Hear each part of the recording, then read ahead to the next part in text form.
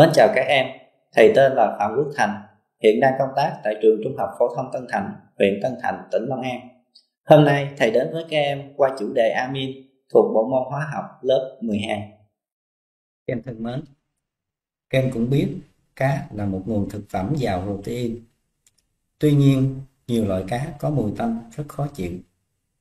Trong quá trình chế biến, người ta có thể dùng giấm để làm giảm mùi tanh của cá Vậy cơ sở khoa học của việc làm này là gì?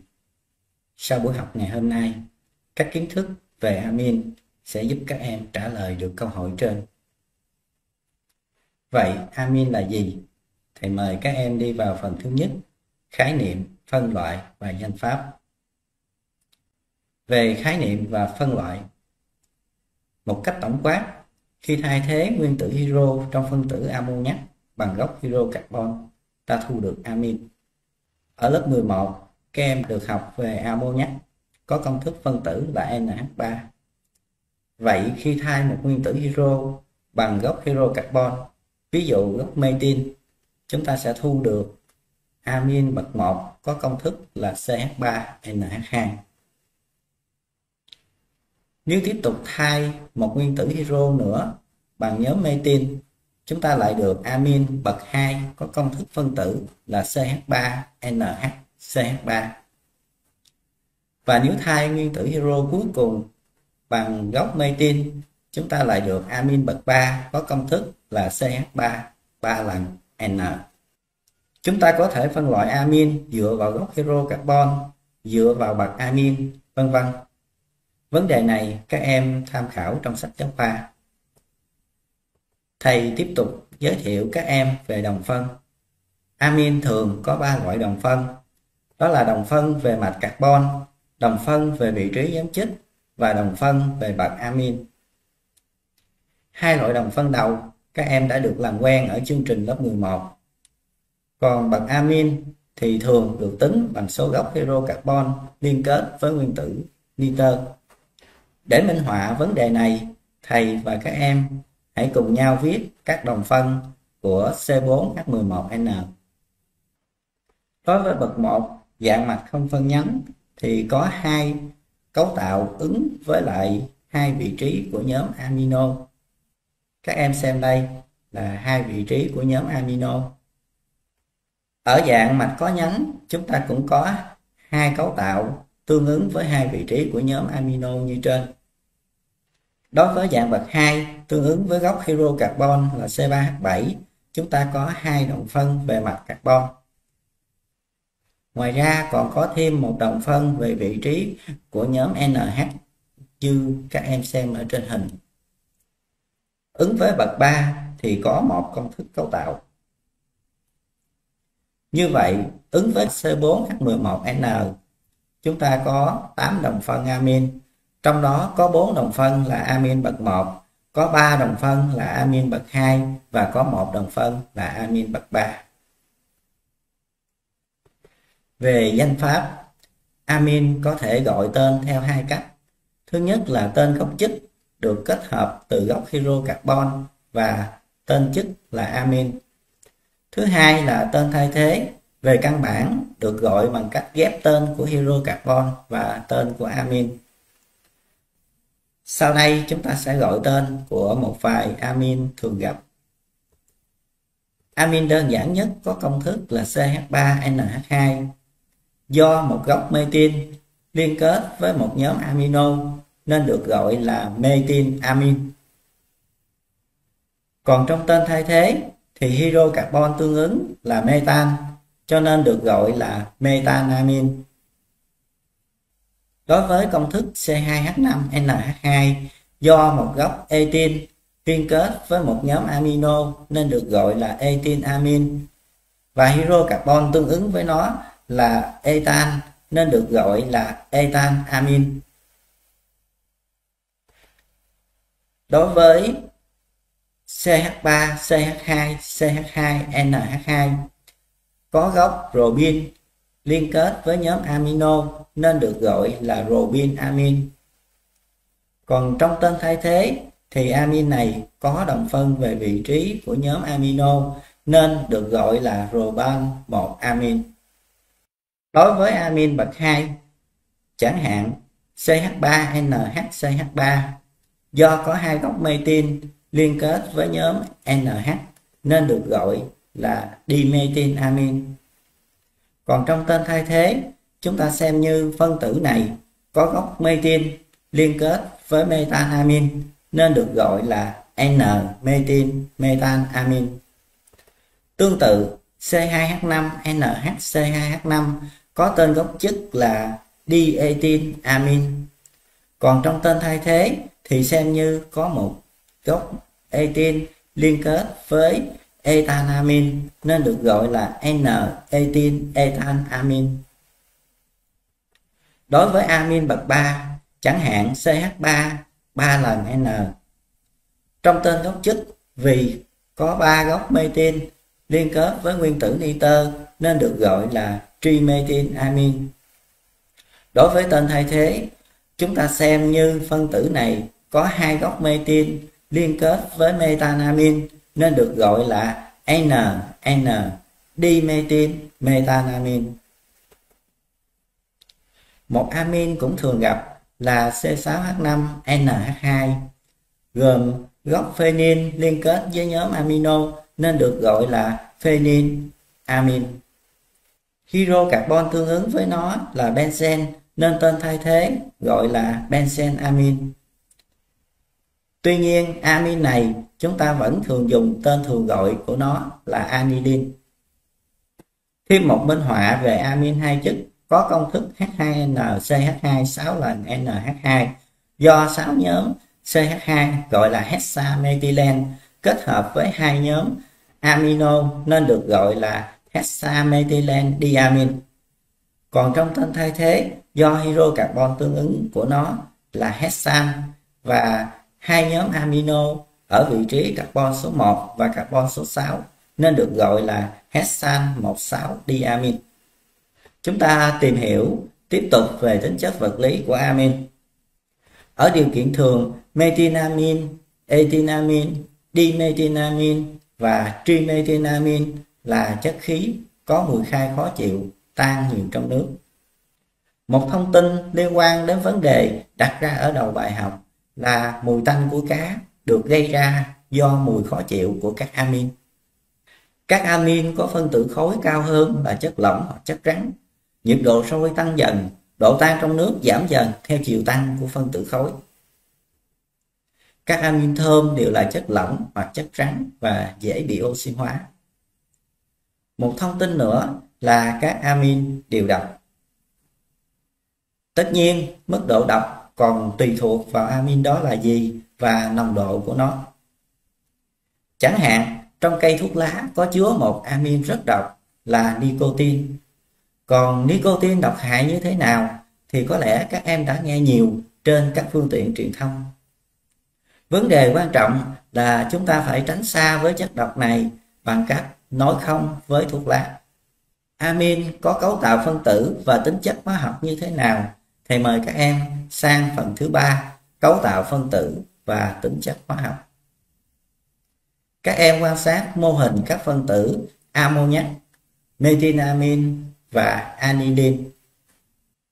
Chúng ta thấy rằng phân tử amin có nguyên tử nitơ tương tự với nguyên tử nitơ của ammoniac.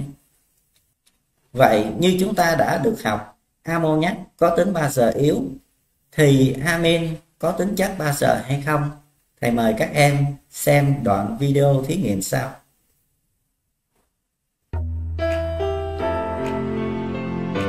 Trong thí nghiệm này, người ta lấy một ít metinamin cho vào ống nghiệm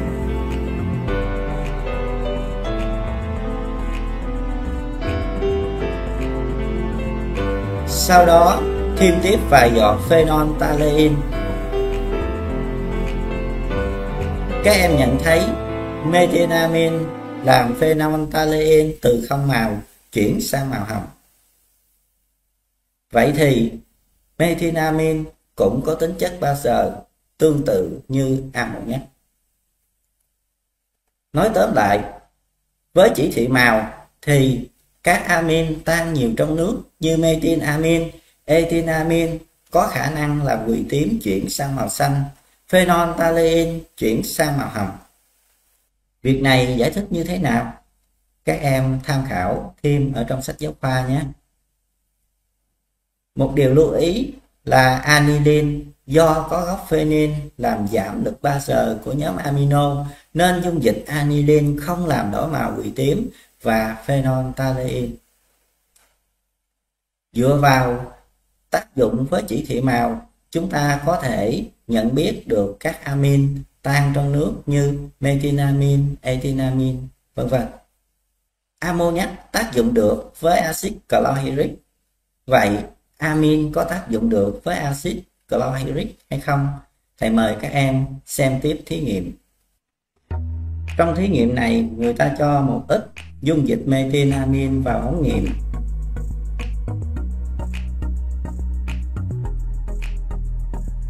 nhỏ và giọt phenolphthalein dung dịch trong ống nghiệm sẽ chuyển sang màu hồng.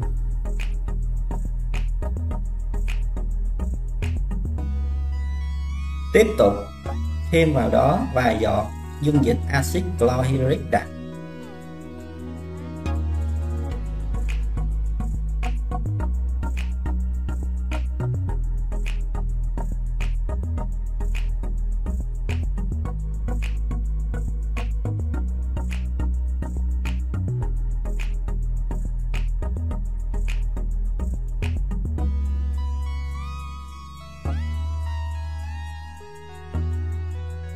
Các em thấy rằng màu hồng của dung dịch đã biến mất và ở phía trên có khối trắng bốc lên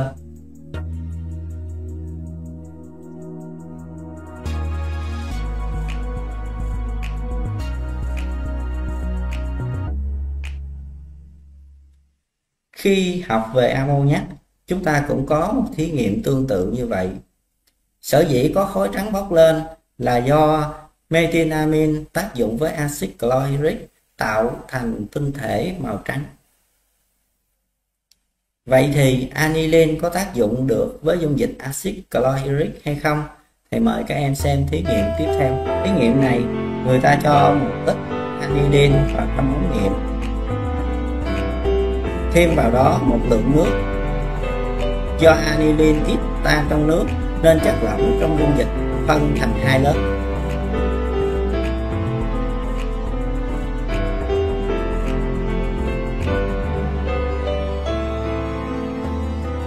thêm vào đó, vài giọt dung dịch axit chlorhydric đặc.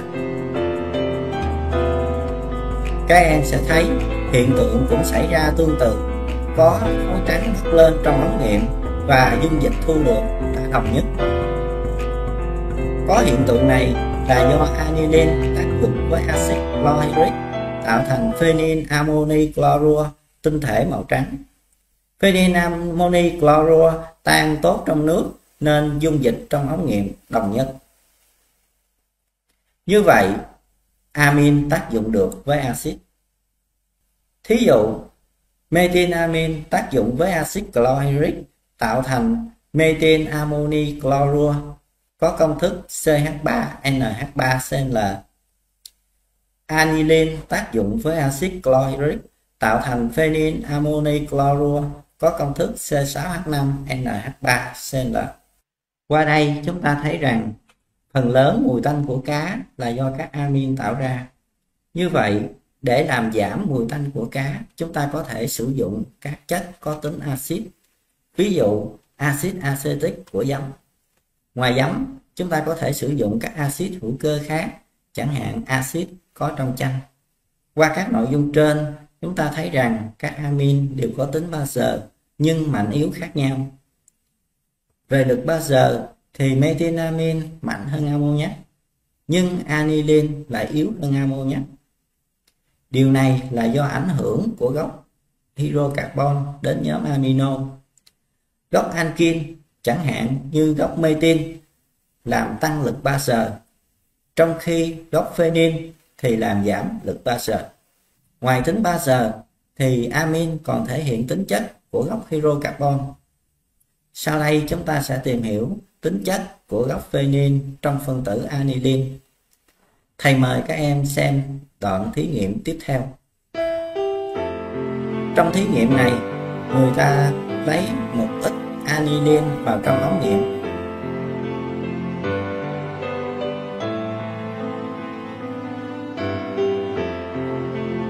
tiếp tục thêm vào đó một lượng nước brom các em sẽ thấy trong ống nghiệm xuất hiện kết tủa màu trắng. Điều này giải thích như thế nào? Chúng ta hãy cùng viết phương trình hóa học của phản ứng xảy ra.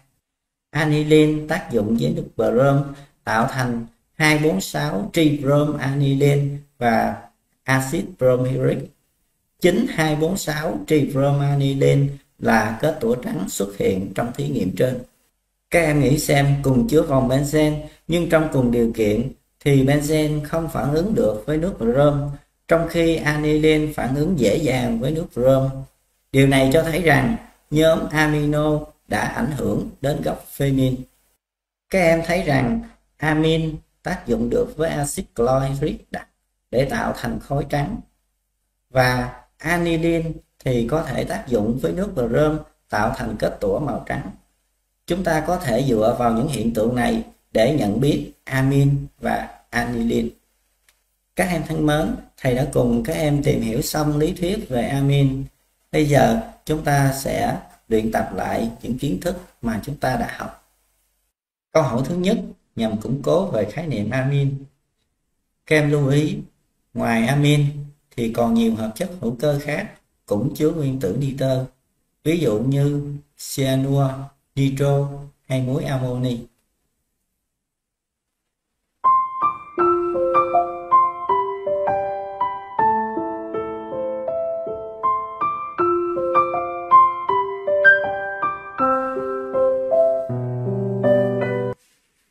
Ở đây các em thấy rằng CH3NH2 mới thỏa mãn khái niệm thay nguyên tử hydro của ammoniac bằng gốc hydrocarbon.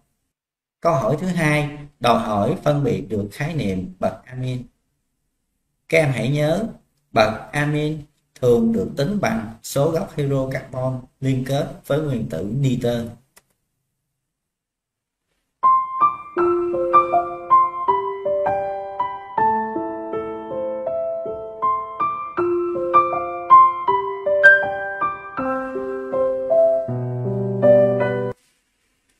Trong bốn lựa chọn thì lựa chọn A, có hai gốc metin liên kết với nguyên tử nitơ nên đáp ứng là amin bậc 2. Câu hỏi thứ ba nhằm rèn luyện cách gọi tên gốc chất của amin.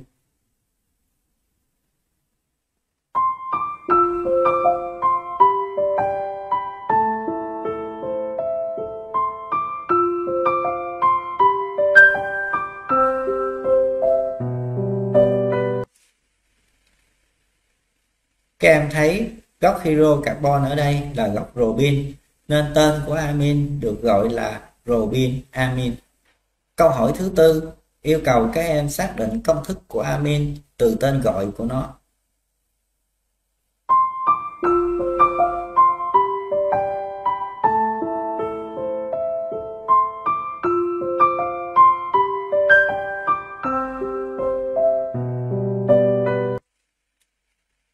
Các em thấy dimethylamin là amin có hai nhóm methyl liên kết với nguyên tử nitơ, cho nên lựa chọn D là đáp án.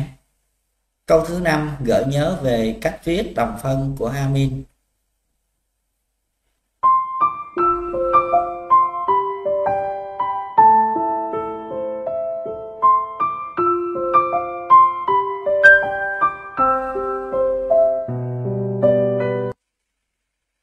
Các em thấy rằng C4H11N có 4 cấu tạo amin bậc 1 tương ứng với đồng phân mạch carbon và đồng phân về vị trí nhóm chức. Câu thứ 6 đề cập đến tính chất vật lý của amin.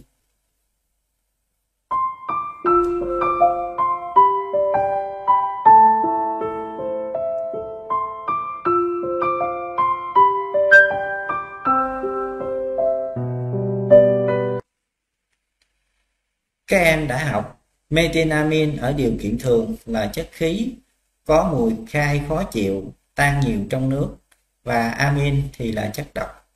Nên tính chất vật lý đúng ở đây là tan nhiều trong nước. Câu 7 nhằm nhắc lại khả năng phản ứng của amin với chỉ thị màu.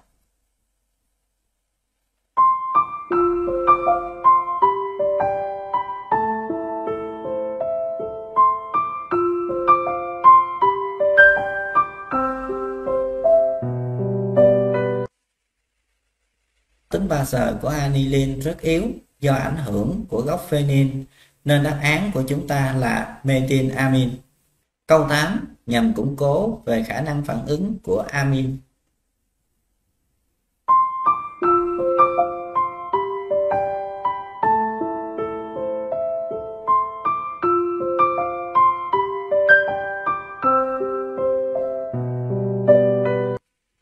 Chúng ta đã học Metinamin thì có tính bazơ nên những axit như axit acetic, axit chlorhydric, axit sulfuric đều phản ứng được với metinamin. Vậy thì chất không phản ứng với metinamin ở đây là natri chlorua. Câu thứ 9 đề cập đến phản ứng ở góc hydrocarbon.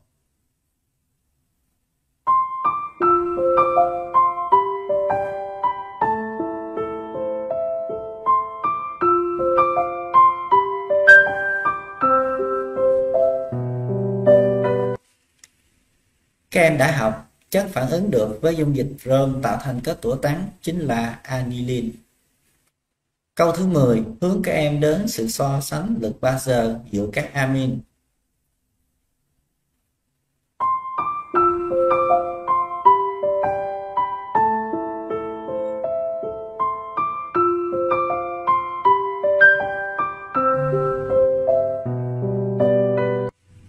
Các em đã học trong ba amin này thì methylamin có lực bazơ mạnh nhất. Tiếp theo là ammoniac và cuối cùng là anilin Sau đây, các em hãy làm một bài tập tự luận để rèn luyện về kỹ năng tính toán hóa học và viết công thức cấu tạo của amin.